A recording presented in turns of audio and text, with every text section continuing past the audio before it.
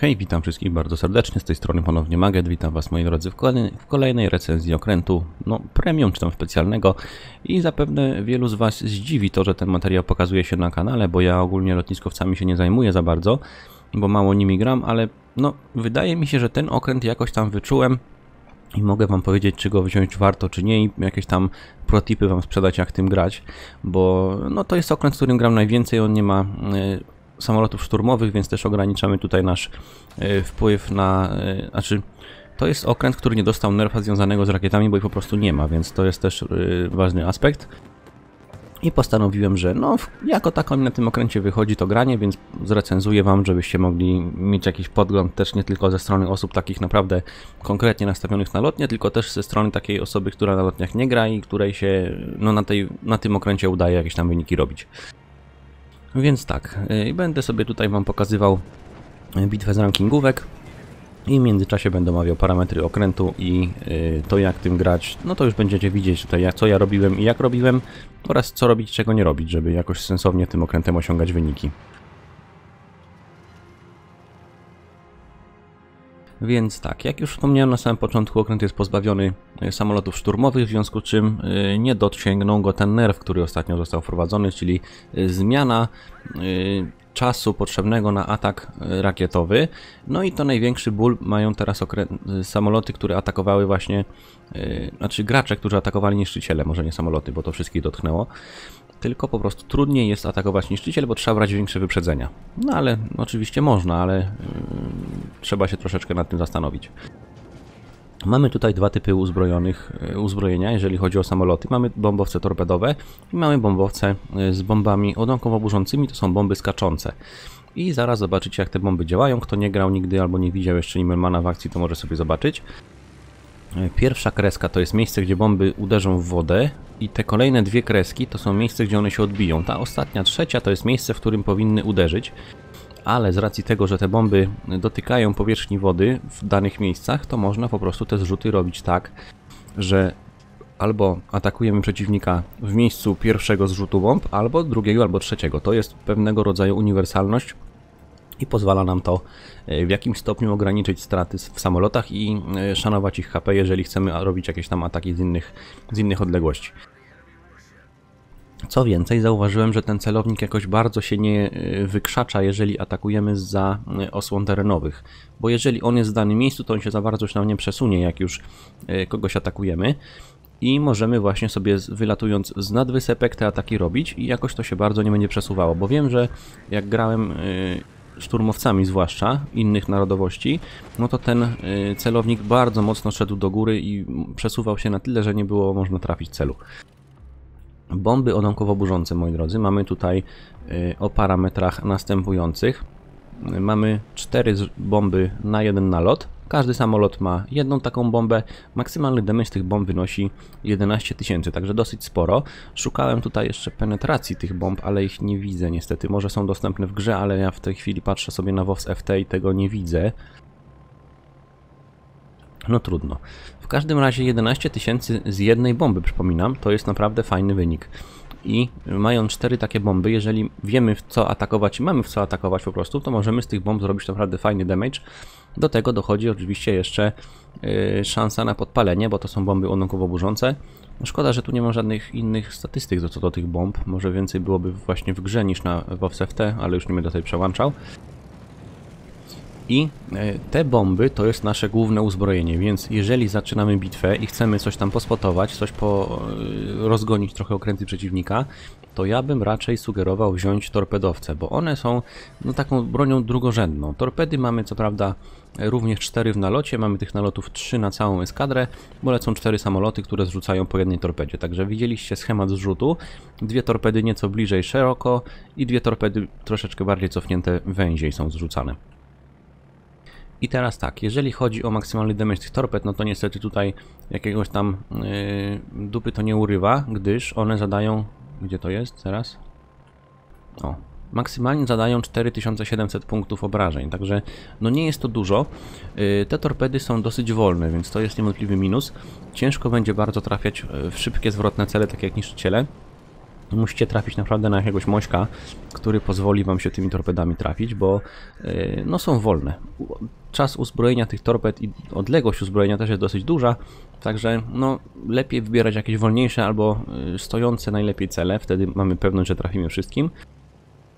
Zalań też jest jak na y, lekarstwo, bo szansa na zalanie tymi torpedami wynosi 27%. Do tego dochodzą jeszcze wszelkie modyfikatory na okręcie, w który, ataku, y, w który te torpedy aplikujemy, także no, tych zalań za dużo nie będzie niestety. Ale czasami coś się uda wbić. Jak widzicie tutaj coś się udało zalać tego kurfursa, także musimy y, celować w konkretne części okrętu, tam gdzie obrona przeciwtorpedowa nie sięga, żeby te zalania wchodziły. No i taki schemat gry w zasadzie jak na starych lotniskowcach, bo lecimy, jeżeli gościa się uda zalać to super, on się naprawia i wtedy lecimy do niego z bombami, czyli naszym głównym uzbrojeniem i robimy mu dwa naloty, zostawiamy mu dwa pożary i gościu jest już no troszeczkę podgotowany, czy tam podpieczony można by powiedzieć, bo, pożary mamy na nim, nie?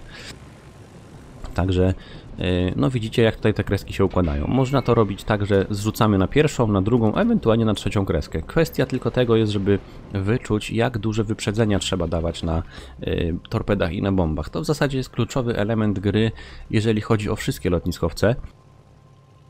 Bo wiadomo, różna prędkość torped na każdym okręcie, różne y, czasy uzbrojenia, to wszystko wpływa na to, jak duże wyprzedzenia musimy brać gdyby, y, gdybym ja na przykład był w stanie nauczyć się tego teraz tak na już, to mógłbym grać praktycznie każdym lotniskowcem i może w każdej bitwie coś tam bym sensownego zrobił, a że no po prostu nie mam wprawy w tych wyprzedzeniach, no to często te moje ataki się kończą na tym, że o, no to jedna dobitka była bezczelna, Moje ataki często kończą się na tym, że po prostu nie trafiam w cele, w które chcę trafić, bo nie wiem jakie wyprzedzenia wziąć. Także na tym okręcie gram w zasadzie najwięcej, jeżeli chodzi o lotniskowce, w związku z czym tutaj już jakoś tam się orientuję, jakie te wyprzedzenia muszą być i yy, powiem Wam, że zaczyna coś wchodzić.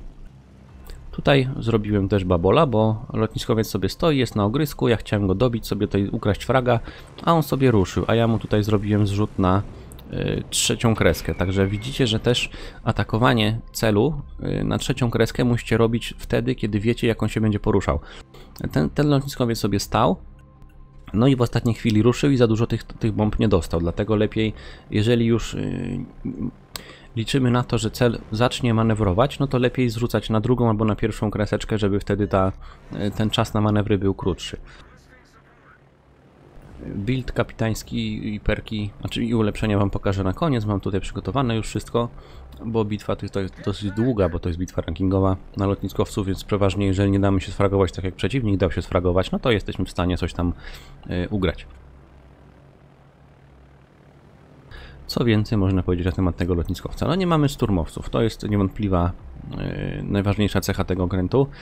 Yy, możemy sobie tutaj na zmianę właśnie używać zalań i pożarów, bo te bomby to jest naprawdę główne nasze uzbrojenie. Te kreseczki też dają pewną jakąś tam uniwersalność w atakowaniu. No tutaj już się robi troszeczkę problem, bo mamy dwa cele obok siebie, więc będzie ciężko trafić, bo one raz, że manewrują, a dwa to jeszcze y, używają w, y, wspólnej aury przeciwlotniczej, czy tam skumulowane, jak to się teraz nazywa, y, bo dwa cele bliżej z pelotką mają większą siłę przebicia niż jeden cel. Spójrzcie, że tutaj nawet jak atakujemy z wysepek, to ten celownik jakoś nie szaleje i można te torpedy jakoś tam jeszcze sensownie zaaplikować. Torpedy pływają naprawdę daleko, bo zasięg tych torped to jest 6,7 km, także jak je zrzucimy i ktoś tam płynie między nimi i zacznie manewrować, licząc, że one w końcu zgasną, no to czasami potrafią jeszcze wejść, bo 6 km będą sobie te torpedki płynąć. E, prędkość torped to jest 37 węzłów, tak jak Wam wspomniałem, że są bardzo wolne, w związku z czym trzeba brać duże wyprzedzenia i najlepiej torpedować takie cele, gdzie mamy pewność, że trafimy. O proszę, tutaj weszło jeszcze zalanko. E, no i tyle, jeżeli chyba chodzi o okręt, bo tutaj no, no dosyć charakterystyczna jednostka, jeżeli chodzi o styl gry, jaki musimy dobrać tutaj, no bo nie mamy szturmowców, e, bomby są skaczące, to też jakoś tam wymusza na nasz inny styl gry.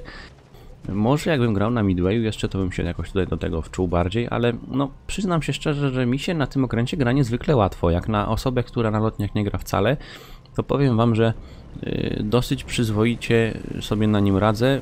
Moim zdaniem oczywiście, może ktoś kto gra na lotniach dużo powiedziałby zupełnie coś innego. O, możemy robić też takie rzeczy. No i pan ma już dwa pożary. Jakbyśmy jeszcze obrócili po y, naprawce to możemy mu wsadzić kolejny pożar z kolejnej eskadry, albo przysłać torpedowcy i spróbować go zalewać. Więc tak, gdybym ja miał ten, ten okręt ocenić, mówię samolot, ten okręt gdybym miał oceniać w skali od 0 do 10, to dałbym mu jakieś, no weźcie pod uwagę to, że ja na lotniach nie gram, nie jestem jakimś tam wprawnym lotnikiem, więc jestem takim raczej casualem na lotniskowcu, to dałbym mu, no myślę o 8 na 10. 8 na 10. Roosevelt myślę, że dostałby dychę bezdyskusyjnie, bo jest potężny, a tutaj no 8 na 10. Nie mam za bardzo odniesienia do innych lotniskowców, bo tam jestem raczej takim niedzielnym bardzo graczem, ale tutaj naprawdę gra mi się fajnie i jestem w stanie regularnie jakieś tam rozsądne wyniki zrobić. Oczywiście trafią się bitwy, gdzie są takie bloby, że nie mam szansy podlecieć do czegokolwiek, ale no tym okrętem gra mi się dobrze, jeżeli myślimy nad tym co robimy i obserwujemy mapę i wiemy gdzie polecieć, gdzie warto polecieć, a gdzie nie, lepiej się nie zapuszczać, no to przyznam szczerze, że e, można tutaj coś z tego okrętu wycisnąć. Spójrzcie, teraz będzie zrzut na jedną kreskę, żeby Shima nie manewrowała, ale już się ustawiła tak, że nie dostała nic. No liczyłem, że może jedna chociaż wejdzie, ale niestety się nie udało. Teraz będę podrywał yy, torpedowcę, żeby go jakoś tam może ustawić pod konkretnym kątem do naszej Shimy, żeby mogła ją rozstrzelać, bo skoro trafić sam nie mogę, to może chociaż mu pomogę w ten sposób. Także ja bym temu okrętowi dał 8 na 10. Jeżeli jesteście też takimi tego typu graczami na lotniskowcach jak ja, że gracie bardzo sporadycznie i chcecie jakiś tam miarę rozsądny wynik sobie ukręcić, no to wydaje mi się, że ten okręt jest warty wzięcia, zdecydowanie. Jeżeli ktoś się zastanawia nad wyborem między tym a Rooseveltem, no to wiadomo, zdecydowanie Roosevelt jest y, lepszym wyborem, bo tam ta siła uderzeniowa jest jeszcze większa i mamy do tego szturmowce, które również zadają potężne obrażenia. Ale no, Roosevelt jest troszeczkę cięższy w osiągnięciu, bo to jest stal. Tej stali trzeba mieć na niego dużo, więc no, trzeba brać to pod uwagę. Spójrzcie, jak ogromne wyprzedzenie trzeba brać, żeby trafić niszczyciel. A i tak z tego całego zrzutu będzie wchodziła w cel tylko jedna torpeda. No ale to już wystarczyło w zasadzie, żeby nasza szlima rozstrzelała czerwoną szimkę.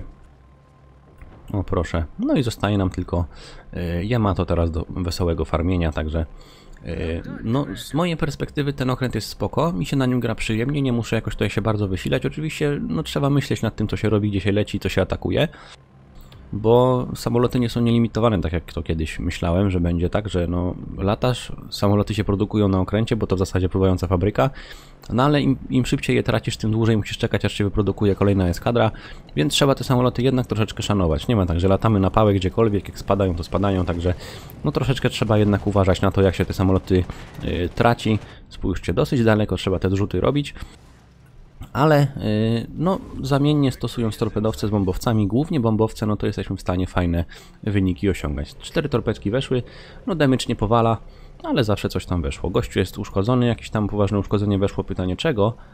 No to może zużył naprawkę, ja teraz do niego polecę, może go podpalę i będzie się tam powoli fajczył, także y, no lotniskowce wydaje mi się teraz, że wymagają yy, nadal tej samej umiejętności co kiedyś, czyli po prostu obserwacji mapy i przeciwnika, tylko że troszeczkę zmieniła się specyfika gry. Ja yy, nie wiem, czy jestem po prostu już za stary i nie chcę mi się uczyć nowej mechaniki w ogóle, yy, czy po prostu jakoś mnie to odrzuca, bo trafiają się bitwy, gdzie lotniskowcem się lata bity 15 minut i się praktycznie nic nie robi, a są takie bitwy jak ta, gdzie można faktycznie mieć odczucie, że jesteśmy w, tym, w tej bitwie ważnym okrętem i od nas zależy los tej bitwy, ale to tak jak mówię, nie zawsze się trafia. W związku z czym, jeżeli ktoś się zastanawia nad tym okrętem, czy go sobie kupić, ja mówię, że warto go sobie kupić.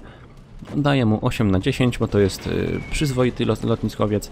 Jeżeli będziecie chcieli, żebym kolejne materiały nagrywał na temat lotniskowców, no to postaram się je sobie jakoś tam ograć. Przynajmniej te y, lotniskowce premium, żeby mieć jakieś tam y, odniesienie, czy warto, czy nie warto.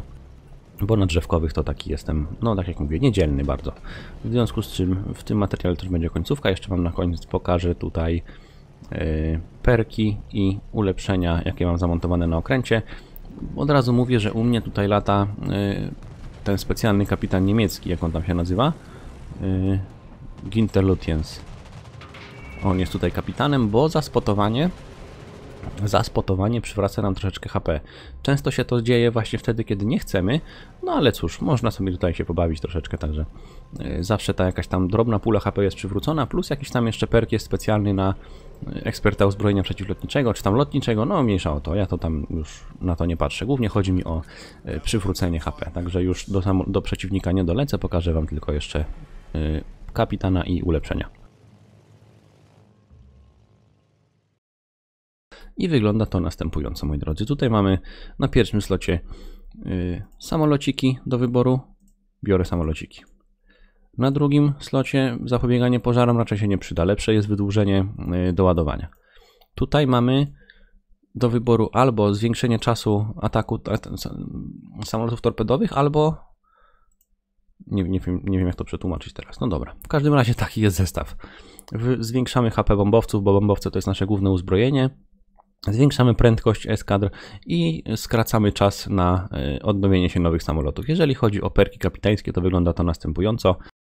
E, nie mam tutaj wziętych e, zwiększenia prędkości bombowców, bo uważam, że no, i tak jesteśmy w stanie dotrzeć do przeciwnika, a tutaj nieco większy damage torped przyda się nam, powiem wam szczerze, bo te torpedki zadają niewiele, także można to je trochę podbić. No i wzięte wszystkie perki pod to, żeby te samoloty jak najdłużej wytrzymywały w powietrzu, jak najwięcej hapsa miały, jak najmniej damage'u dostawały. Także podsumowując, 8 na 10 w moim uznaniu i okręt warty wzięcia. Także do usłyszenia moi drodzy, cześć i na razie.